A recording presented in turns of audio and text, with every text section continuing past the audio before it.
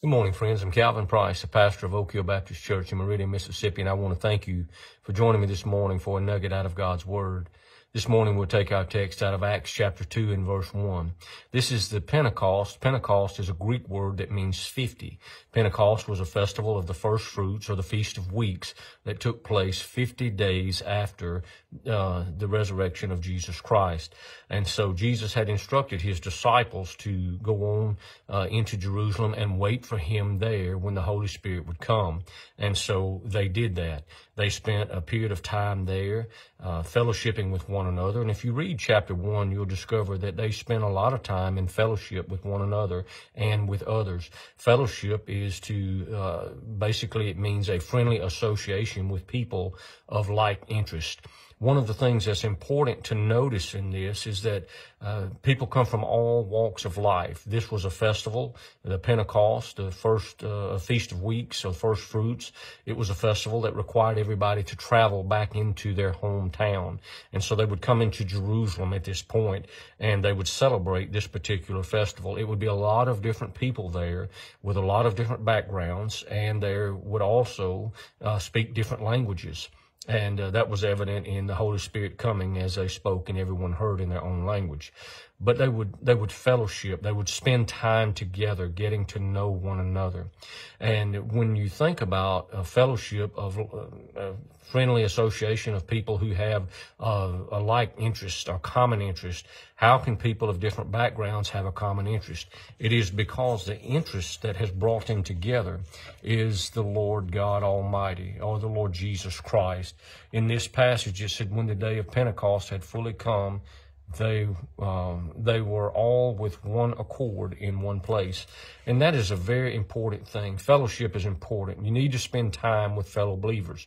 You need to spend time with people uh, that are close to you people that you love friends whomever it is. You need to spend time with them getting to know them and getting a better understanding of them. Sometimes getting to know people and uh, learn a little bit about their lives helps you to understand the things that motivate them and also helps you understand the decisions that they make in life and the reason they do the things that they do. And so it says that these people were gathered in one accord. It didn't matter where they came from. It didn't matter what their background was. They all had a common interest. And that one interest is what brought them together. And that was to serve God. They came for the festival and there they met Jesus Christ, many of them as a disciple to introduce them. They spent time getting to know each other and they spent time getting to know Jesus. The common interest was God, God Almighty, Jesus Christ that had brought them together. Many times as we live our life, we fail to see that it is the common denominator. Jesus is the common denominator that links us together regardless of where we came from or what our past is about.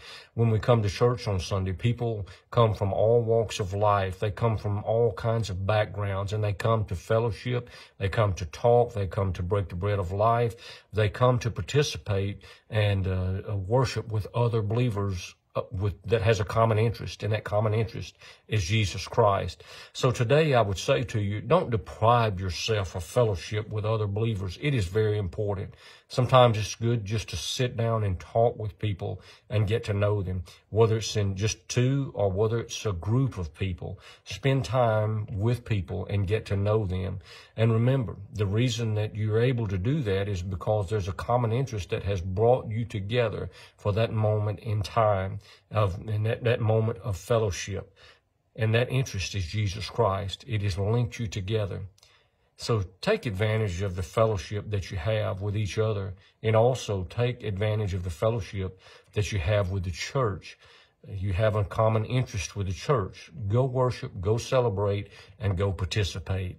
Remember this today, my friends. The Lord Jesus loves you and I love you too. Please pray with me. Father, I ask you to just light a fire, ignite a fire in our lives that we may fellowship with one another and with you because of the common interest in Jesus Christ. And I pray it in the blessed name of Jesus. Amen. God bless you, my friends, until we meet again.